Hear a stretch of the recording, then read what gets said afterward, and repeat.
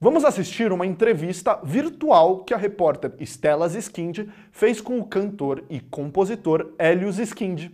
Eu vou conversar agora com Hélio Ziskind, autor de grandes sucessos do Castelo Ratimbum, Gloob Gloob, que marcou uma geração. Oi Hélio, tudo bem? Como que estão as coisas por aí? Tudo bom? Aqui na quarentena tá indo.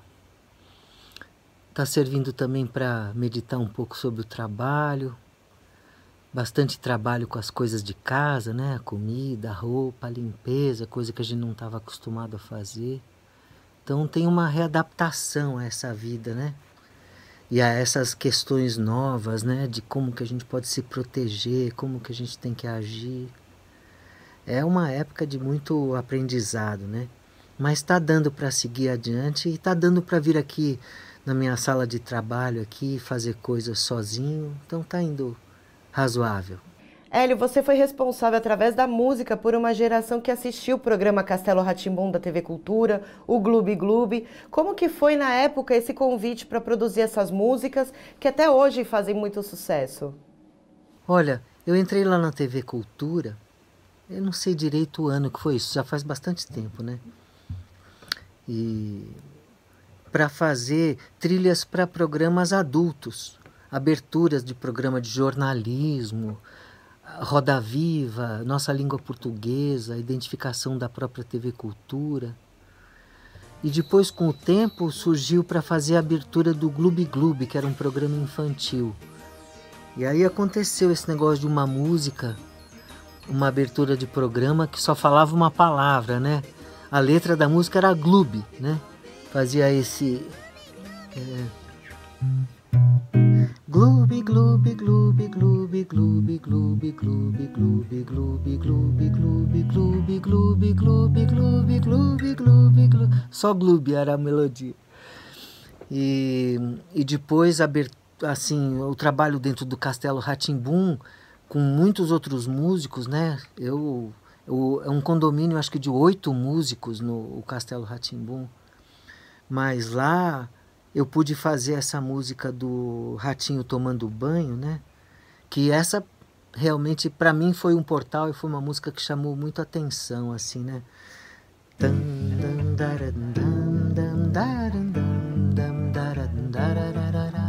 Tchau preguiça, tchau sujeira, adeus cheio de suor.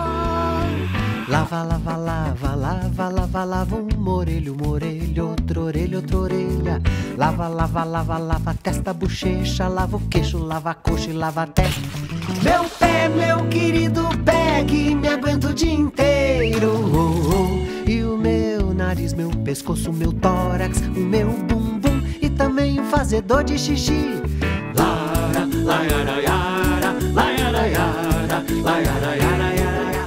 Essa foi uma música muito importante, né, para mim, mostrou que eu tinha um caminho para seguir assim dentro da música para crianças, né? Foi muito bom. E você imaginava que essas músicas teriam tanta repercussão? Eu não imaginava que as canções iam ter essa projeção que elas tiveram, né?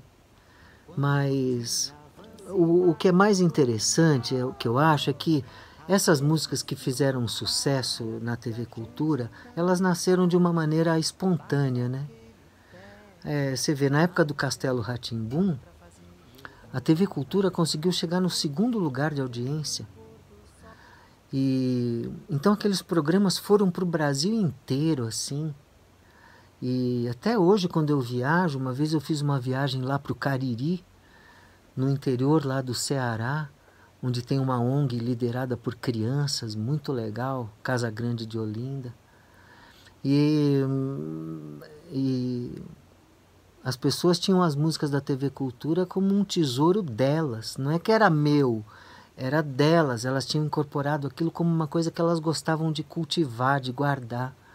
As coisas feitas pela TV Cultura para criança é, foram muito espontâneas e foram muito bem feitas, com vontade, assim, por pessoas que faziam aquilo com muita naturalidade. Foi uma época muito feliz, assim, gerou muita coisa boa mesmo. E quais foram os outros trabalhos realizados por você? Olha, dentro da TV, eu fiz muitas coisas diferentes lá. eh, servindo a programas de jornalismo, de repórter eco. Então, assim, só dentro da TV já foi bem variado. E fora da TV, eu fiz trilha para dança, eu fiz uh, uh, músicas para propaganda, eu faço jingles para Johnson's há, acho que há quase 15 anos, né?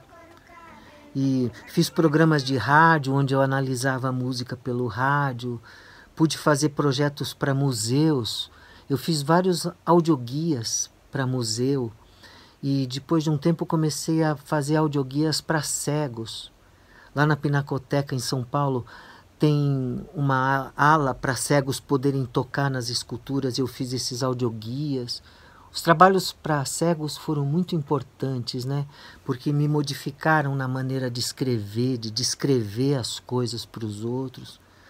Então, eu fiz as narrações, escrevi os textos. Fiz um trabalho desses no Museu do Amanhã, que durou mais de dois anos fazendo aquilo.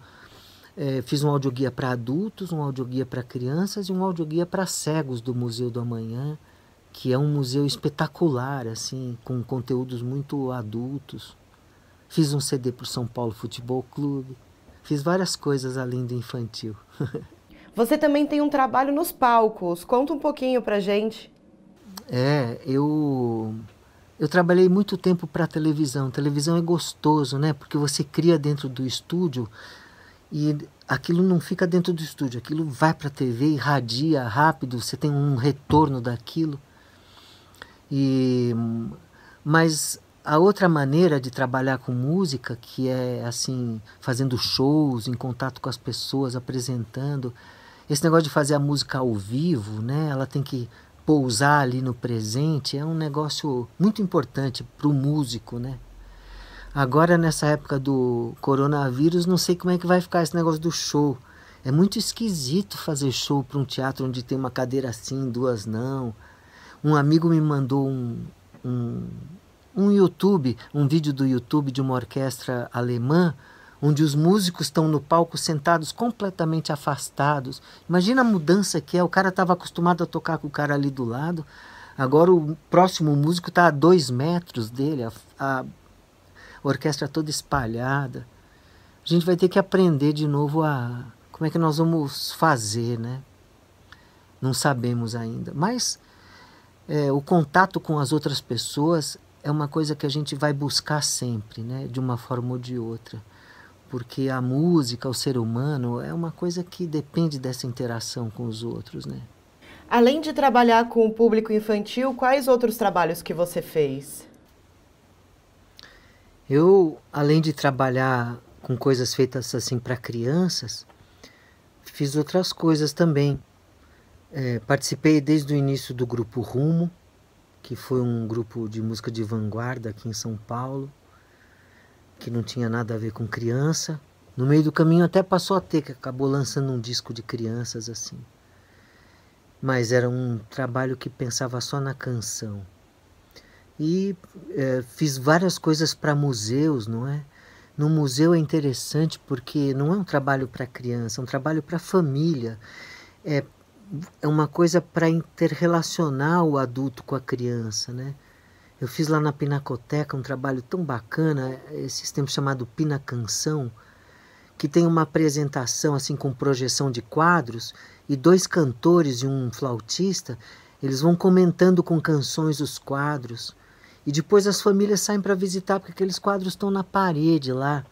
Então a música cria uma familiaridade. Então, eu gosto muito desse ambiente do museu, assim, é um lugar onde a gente vai disposto a conhecer coisas novas. Gosto de fazer música para isso. Agora, na época de quarentena, você realizou uma live, né? Como que foi? Eu, eu fiz uma live, sim. Já fiz algumas até. Fiz uma para o Sesc que foi bem bacana. E eu tenho feito vídeos para o meu canal no YouTube então já estava vindo embalado nesse negócio de falar para uma câmera, cantar para uma câmera. E lá no Ziz, meu canal chama Ziz, no YouTube com coisas para crianças. E eu gostei, eu, esse, nesse canal eu gravo ao vivo. Canto e toco ao vivo e aquela gravação tá valendo. Então o vídeo tem e as lives permitem esse negócio de que a gente canta para valer aqui naquele momento presente, do jeito que a gente tá só com a gente, né? Então, eu acho legal que as pessoas possam me ver, porque muitas conhecem as minhas músicas da televisão, não imaginam como eu sou. E agora essas lives estão deixando ver melhor como eu sou. Eu acho que isso vai ajudar muito na, na carreira ainda, né? Você acha que falta trabalhos como o seu para o público infantil, onde se educa através da música? Olha, eu acho que tem muito trabalho bom. O exemplo do Mundo Bita, que é um trabalho bem legal, Palavra Cantada, o Peixonauta. É, quantos artistas fizeram discos legais para criança, né? O Patofu, Adriana Calcanhoto, o Zé Cabaleiro. É, eu acho que está cheio de coisa boa que não precisa ser necessariamente educativa. Educativa acho que é um negócio meio para quem passou ali perto da TV Cultura, né? Mas tem um espaço para música mesmo para criança, divertida, música em que a letra chame atenção para uma coisa da vida dela. Então, sei lá, eu eu me encaixo nessa quantidade de pessoas que faz um trabalho para criança considerando que a criança já é um ser ali, não é um vir a ser, não é que ela vai ser alguma coisa no futuro. Ela já é uma pessoa ali. É possível falar com essa pessoa. E muitas adoram música, e a música tem uma coisa importante para as crianças, a gente nem entende direito a função disso, né? Talvez seja a construção dessa ideia de sequência, de antes e depois. Mas eu recebo assim umas mensagens de, por exemplo, pais e mães que são que têm filhos autistas ou que têm filhos com certa deficiência, ficam ali presos dentro de si numa certa enfermidade, e para eles a música tem uma função absurda. É o contato com o mundo exterior. É, é muito impressionante isso daí, o papel da música com as crianças, né? E você vai realizar outras lives? Quem quiser te acompanhar, como é que faz? Hum, eu pretendo fazer outras lives, sim. Principalmente porque as lives que eu fiz até agora, eu não fiz exatamente para criança. Eu queria fazer para criança. Tinha muita pergunta, muita falação. Eu queria. Eu estou me preparando para isso, com coisas de câmera e microfones e como que a gente vai fazer para o som ficar bom, para não ficar um negócio muito só de celular, assim. Estou me preparando para isso, quero fazer. E as pessoas que quiserem me acompanhar, tem meu site, tem as minhas redes, Facebook, Instagram, tem as redes do ZIS, é, no Facebook e no Instagram. Então, por algum desses canais, pode se ligar que vai chegar notícias. Quais os novos projetos após a pandemia? Primeira coisa da pós-pandemia, se é que vai ter pós, né? Porque talvez seja uma situação que a gente passa um, vem outro, porque o que, que vai impedir novos vírus? Enfim, é um assunto que está em aberto para a gente e a gente está tendo que reaprender a, até a viver, né? O músico que não pode fazer shows e se apresentar vai viver do quê, né? A gente tem que reaprender, repensar essa história.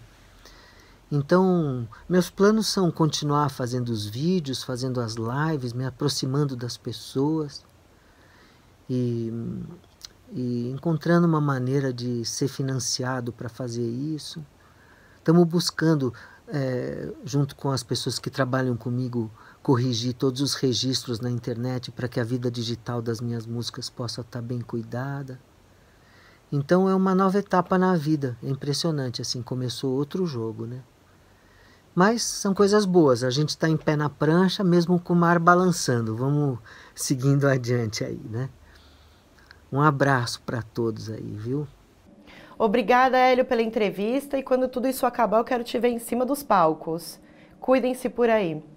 E essa foi minha entrevista com o Hélio. Na semana que vem tem mais.